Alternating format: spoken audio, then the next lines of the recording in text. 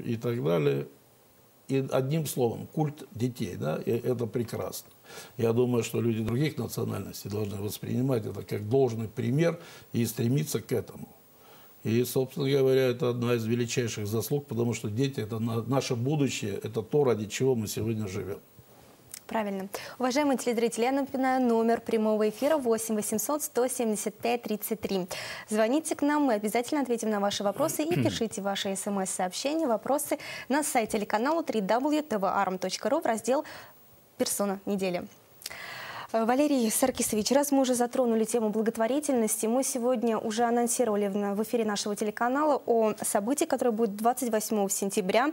Супершоу топ-стилистов мира Alternative Hair Show. Собраны все собранные с мероприятия средства будут переданы в благотворительный фонд помощи детям, больным лейкемией «Подари жизнь».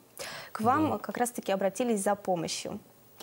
Э, вы знаете, да, действительно, я сегодня нахожусь э, в Москве э, по приглашению, прежде всего, моего друга Дмитрия Винокурова. Я хочу сказать, во-первых, слова благодарности и в адрес руководства нашего телеканала ТВ Армру, которая откликнулась на эту просьбу, и телеканал ТВ Армру, и лично наша телекомпания ТВ-3В внесли свой посильный вклад в то, чтобы это мероприятие состоялось э, на достойном уровне.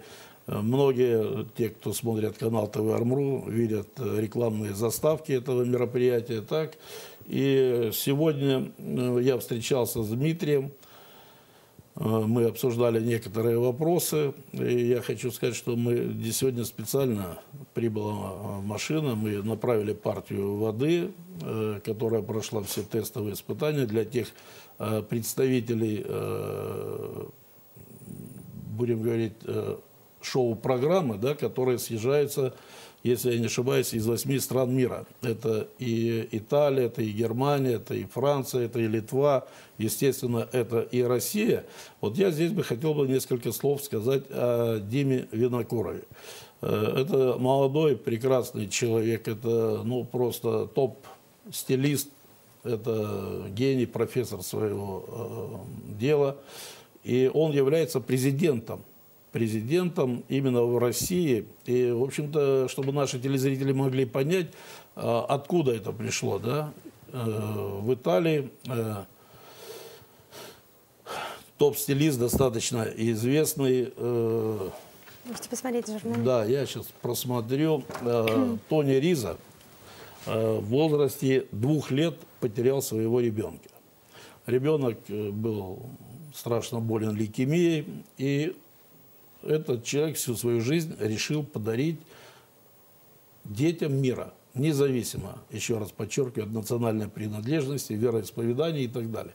На протяжении 30 лет этот человек, объединяя всех ведущих мастеров, да, ну, по-русски говоря, парикмахерского искусства, да, э, создают шоу-программы, съезжаются практически со всего мира, показывают грандиозное шоу идет сбор средств, которые затем направляются э, в медицинские центры на поддержку тех детей, которые болеют лейкемией. Это страшная болезнь, и, э, в общем-то, в силах этих людей, то, что они могут сделать, да, это собрать средства на лечение этих детей. Хотя бы одна даже спасенная жизнь детская, да, это уже достижение, Конечно. это уже победа. И э, в этой связи нужно подчеркнуть, что достаточно много людей сейчас и в плане бизнеса, и в плане культуры, да, начинают понимать свой долг, долг перед детьми, перед теми людьми, которые ждут и хотят получить эту помощь. Вот это самое главное. И сегодня э, не откликнуться на э, просьбу Димы, ну, я считаю, даже просто слов нет. С удовольствием мы и финансовую поддержку оказали, и моральную, и всевозможную.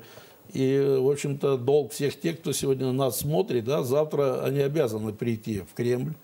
Э, купив билет, они тем самым окажут содействие в решении этой грандиозной, э, в общем-то, задачи и проблемы. Несмотря на то, что они получат там грандиозное и громадное удовольствие от того шоу, которое будет там представлено. Валерий Саркисович, а в Сочи к вам обращались за подобной помощью детям? Достаточно много. Я сейчас даже и имен не помню, и не знаю, и, и на операции, и всевозможные. Но я хочу сказать, чтобы не было такого понимания, да, что мы всесильны. Но исходя из тех э, финансовых возможностей и ресурсов, которыми мы располагаем, в меру этих возможностей мы, собственно говоря, и можем оказывать. Я хочу сказать, что в Сочи достаточно много людей, и вообще на юге России, да, бизнесменов, э, которые, э, в общем-то, оказывают посильную помощь. Вот наша задача как раз и в планах нашей телекомпании стоит цикл таких передач рассказать об этих людях и о тех, кому была адресована эта помощь, да, и какую практически на деле они получили помощь реальную. Я думаю, вот эти примеры, да, поразительные и заразительные в лучшем смысле этого слова, они будут проникать в сердце каждого человека, который в состоянии оказать эту помощь. И я считаю, что тем самым наша задача и цель телевидения, телекомпании вот в этой части, собственно говоря, и будет решаться. Уважаемые телезрители, я напоминаю номер телефона прямого эфира 8 800 175 33. Звоните, задавайте интересующие вас вопросы нашему гостю Тарасяну Валерию Саркисовичу. Валерий Саркисович, как да. я уже поняла, практически вы всю свою жизнь посвящаете благотворительности. Но помимо вас, э, как действует армянская община в Сочи? Оказывает ли она ту же помощь в тех же размерах, как и вы? Значит, э, был такой эпизод, э, было достаточно очень вы знаете, мощное наводнение, э, по-моему, в Новокубанском районе, это под Армавиром и в Армавире. Это было несколько лет тому назад, и достаточно серьезную помощь оказала армянская общественность России. Более, по-моему, 50 грузовиков, большегрузных машин из областей краев э, России были направлены в этот регион. И достаточно хорошо известный нам э, человек, мэр города э, того периода, со слезами на глазах принимал эту помощь и благодарил армянскую общественность России за оказывание. Это просто было фантастически. Если мэр города стоит, плачет, он понимает, что было сделано – ну, просто слов нет. Это были и слова благодарности, и слова уважения, потому что мы живем в одной единой стране. Еще раз подчеркну, независимо от национальной принадлежности, когда понимаешь, что у кого-то боль и нужно прийти на помощь, вот тогда есть смысл жизни, то, ради чего мы ежедневно выходим на работу, э, ради чего мы трудимся, общаемся – вот это самое главное, я так думаю, и я думаю, что в этом я не ошибусь. Ведется ли какая-то совместная работа телеканала с армянской общиной? Э, вы знаете, я хочу сказать э, вот одну такую вещь, как бы не было парадоксально, да, мы всегда вот любим э, все так красиво преподносить и так далее, но мы никогда, я имею в виду армянскую общественность, открыто не говорим, не критикуем и так далее. Это неправильно. Нужно посмотреть и брать хорошие примеры у других национальностей, у других общественных организаций, которые на сегодняшний день имеют место. Без критики, без удаления сорняков никогда не будет движения вперед. Поэтому я бы не хотел бы так сегодня, может быть, очень остро, но я думаю, достаточно того, что я просто обозначил эту тему. Сегодня э, должно быть нормальное движение вперед. Топтаться на месте невозможно. Конечно. В Москве есть несколько общественных организаций, мы уже вот упомянули, да, не, несколькими минутами тому назад, Долбакяна, да, прекрасная общественная организация «Арарат», которая проводит очень серьезную, грандиозную работу в этом московском регионе. Сегодня э, я считаю, что в каждом городе должно быть две-три организации – Хотя многие могут расценивать, как это идет дробление. Нет, это идет конкурентная борьба. И тот, кто сегодня э, более четко представит свою программу не только на бумаге, но и в планах действий, вот тогда народ будет понимать, что из э, трех, там, двух организации нужно выбрать ту, которая сегодня именно защищает интересы армянской общественности в том или другом регионе. Я думаю, в этом плохого нет ничего. А быть, э, извините меня, как 70 лет нам диктовали под одним флагом коммунистов и другого никто ничего не видел, это неправильно. Еще раз скажу, что конкуренция должна быть здоровая и живая. Вот это будет правильно. У нас есть вопрос от нашего телезрителя Шагена. Назовите сайт телеканала ТВ3В. То есть э, каким образом? Вы уже упомянули о том, что вы, телезрители могут смотреть телеканал ТВ3В онлайн. Э, онлайн, вы знаете, э, вот те, которые передачи мы поставляем да, на ТВ Армру, всегда внизу в титрах пишется наш адрес электронной почты и так далее. Поэтому я бы нашему зрителю хотел бы сказать, обращайте внимание на титры в конце наших очерков, и будет все доступно и известно вам. Уважаемые телезрители, будьте активнее, звоните по номеру 8 800 175 33. Я напоминаю, что у нас в гостях генеральный директор телеканала ТВ3В Тросян Валерий Саркисович. Валерий Саркисович, вы в своем разговоре упомянули, что в Сочи строится армянская церковь. Э, в Сочи имеет э, место в Адлере. В частности, она давно построена, она действует, э, церковь так, э, вы, очевидно, имели в ближайшее время, э, будет открытие небольшой часовни э, в армянском селе Норлуйс. Угу. Наше телевидение, телекомпания приглашено. На это мероприятие мы будем освещать открытие часовни. И в ближайшее время телезрители канала ТВ Армру смогут воочию увидеть все то, что там происходило. Более того, скажу, что в первый день, вернее, воскресенье октября месяца, это День учителя, и мы несколько э, месяцев тому назад, ну, практически год, заложили мемориальную доску в память о директоре школы э, села Беранда. Так вот, будет буквально на днях официально ее открытие. Мы также примем участие в освещении. Я знаю, что уже приглашены его соратники, писатели. Он был поэтом, знаменитым, амшенским, кстати, поэтом, который достаточно много э, писал на эту тему э, стихов, поэтических своих материалов выступления. Я знаю, что даже э, книги, которые он выпускал, ему общественность помогала в издании. И у нас как раз-таки звонок в прямой эфир. Алло, мы вас слушаем. Здравствуйте. Здравствуйте, представьтесь, пожалуйста. Я Амбарцумян Лева. Откуда вы звоните? Я, я, я звоню со Ставропольского края, город Невиномыск. Очень приятно. Ваш вопрос, пожалуйста, нашему гостю. Алло. У меня, у, меня, у меня вот такой краткий вопрос. Конечно, Вот понимаете, мы э, это несколько лет назад образовали вот тоже здесь диаспора, я был член этого общества, все такое, концерты были, и, и это э, с, э, ну как-то э, общались, и очень как, как горячо мы взялись, так и горячо все остыли, понимаете?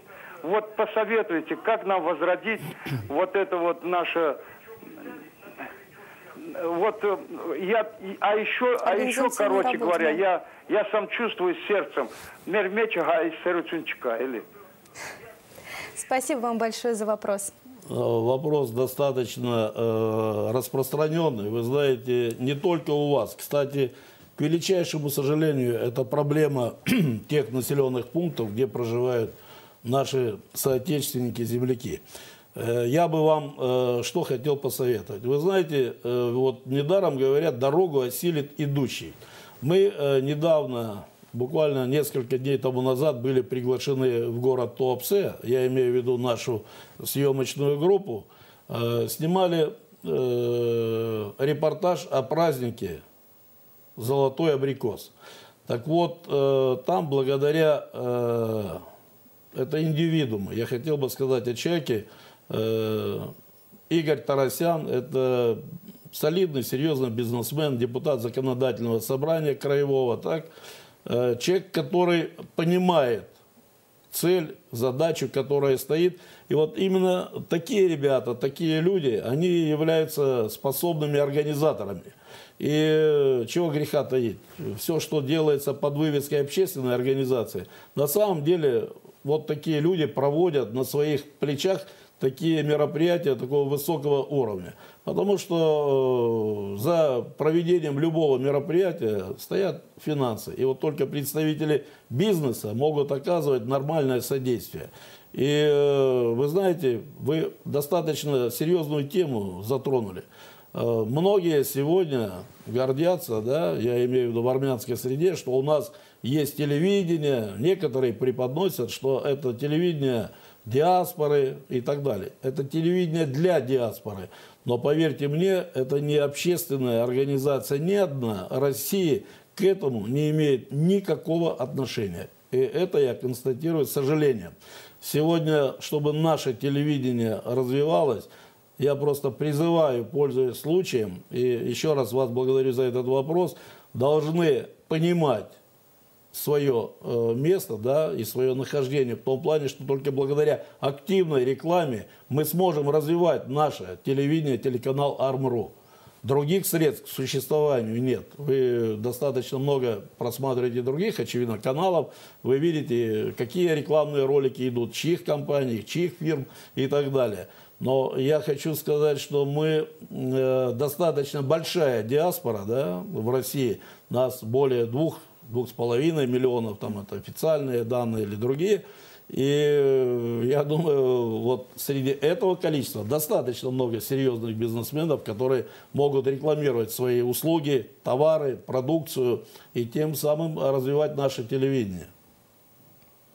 Спасибо вам большое за то, что ответили на вопрос нашего телезрителя. И напоследок, Валерий Саркисович, скажите, пожалуйста, о планах на будущее у телеканала ТВ-3В. Э, вы знаете, планы, ну, всегда можно строить воздушные замки и так далее, но нужно отталкиваться от реальных наших возможностей и так далее. Э, у нас э, достаточно небольшая, но мобильная команда, закреплен транспорт, современное оборудование съемочное, да, ну и всегда, когда чего-то достигаешь, хотелось бы иметь еще более совершенные, еще более лучшие условия. И, соответственно, имея вот все это, да, нужно и повышать тогда и качество, и ответственность за ту работу, которую мы проводим. Ну, планы достаточно серьезные, грандиозные, большие. Это иметь и, еще раз хочу сказать, свою студию современную, и иметь э, современное, совершенное оборудование, ради которого, собственно говоря, мы сегодня и затеваем всю эту работу, да, чтобы мы могли мобильно выходить с разных точек напрямую сюда, в нашу головную студию, и доносить ту информацию, которую от нас ждут наши телезрители. И хочу сказать, что достаточно вот много э, конкурсных мероприятий, которые проводит канал ТВ Армру, к счастью, они все у нас, э, победители, появляются практически на юге России. Да? Мы выезжаем в разные-разные города. Э, я думаю, мы своей работой будем доставлять истинное удовольствие и наслаждение. И вот в ближайшее время будут проходить фильмы, которые мы снимали о наших конкурсантах.